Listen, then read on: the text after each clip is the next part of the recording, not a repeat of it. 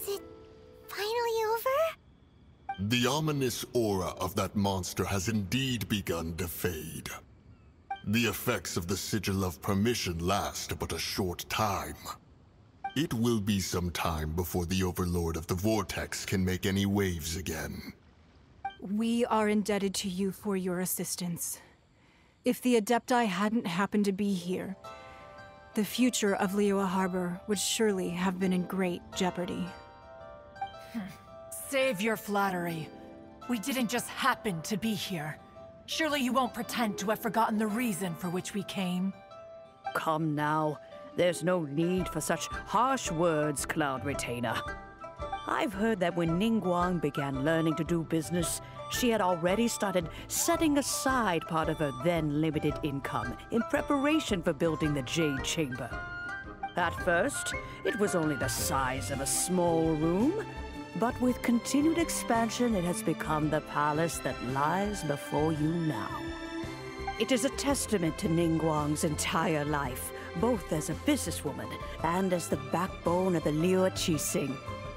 Seeing the Jade Chamber destroyed in the defense of Liyue means much to her. To me, such cooperation and sacrifice deserves at least some recognition, don't you agree? Well, I was really hoping you would say that such sacrifice could at least be used as some leverage in our negotiations. Thank you all for hearing me out. We know very well why the Adepti came here today. But please forgive us. We cannot yield to your wishes. Oh? 3,700 years. According to our records, the Adepti signed a contract with Rex Lapis to protect Liyue 3,700 years ago. Even to this very day, Liyue and its lands have stood the test of time, immovable as stone, just as it was thousands of years before. This is truly no small feat. But that does not mean that the Liyue of today is the same city as it was all those years ago. Do not merely cast your protective gaze upon the land. Instead, focus your sights on our city and each of the citizens that dwell within it. Are you questioning our means of protecting Liyue? Hmm. I mean no offense. I simply hope that our Adepti forebears would see Liyue in a new light. Huh. Forebears, you say? One doubts you would be fit to be part of such a lineage. This morning, Rex Lapis appeared to me in a dream. What? In the dream, I yearned to tell him that we Qixing, though mortal, are equally bound to the contract. Each passing generation of the Qixing leaves many things of value to be inherited by the next generation. I also thought to tell him how the past generations of Qixing had strove under his rule to survive in our mortal world, establishing a network of contracts which has since come to be known as trade. But I dared not speak. I could only gaze at him in silence until the moment I awoke. Ah, oh, Ningguang. Yet another perspective. What are you trying to say, Outlander?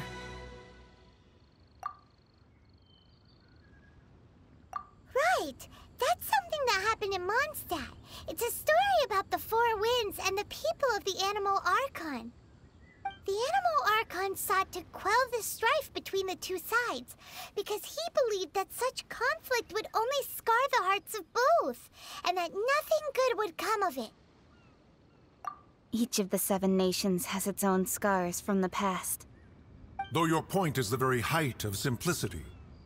As Adepti, we've become a laughing stock, to be chastised thus by an outlander who has lent us such succor.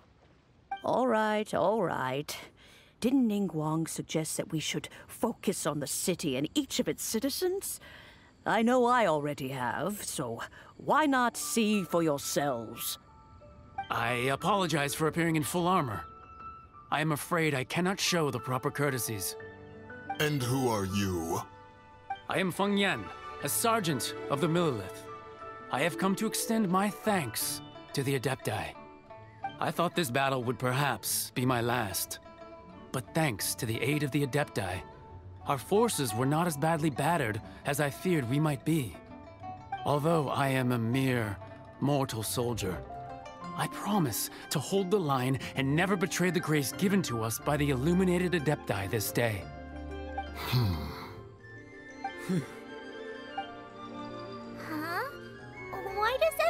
Look so down? Didn't we just beat that big monster? Weren't you frightened, dear? It was quite the predicament. I wasn't afraid. All the strong Millelith guards were there, and those powerful heroes with their visions were there. Everyone was there. When danger is near, everyone always protects me.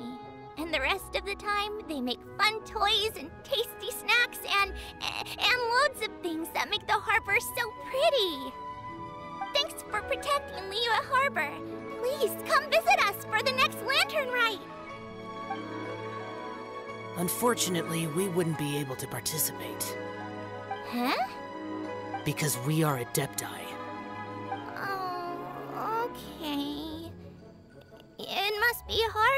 An Adeptus. Aww.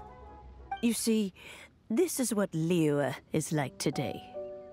The country of contracts is grateful to the Adepti for their protection, but it is no longer necessary for the city to rely on the Adepti's power to solve every little niggling matter.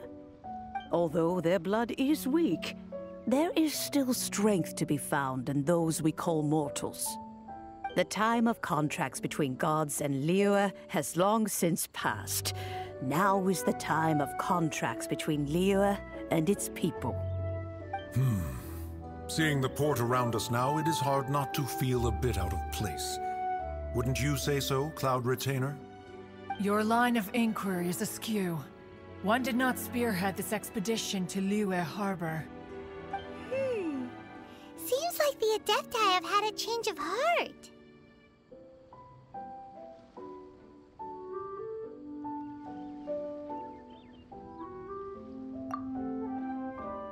Let us return now. Eager to leave, uh, conqueror of demons.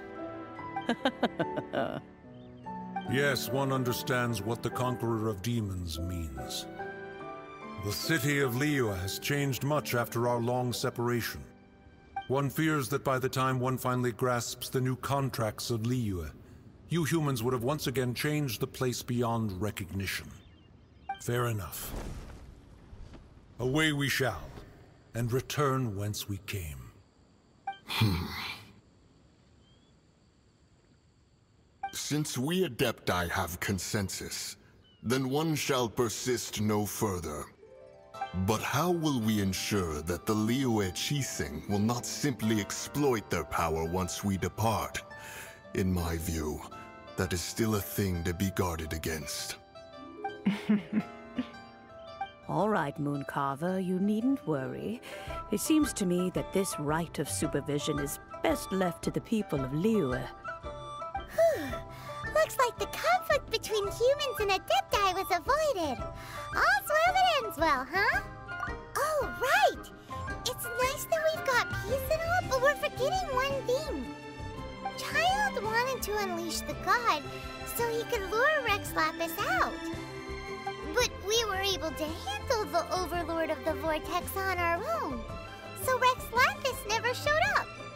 Oh, and speaking of that, don't we still need to get to the bottom of that Archon's death, too?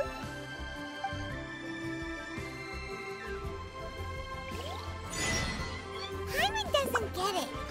But isn't the strongest lead we have the Adeptiless Rite of Parting that we're organizing? Idea where Zhongli's going. Let's ask for him at Wangsheng Funeral Parlor.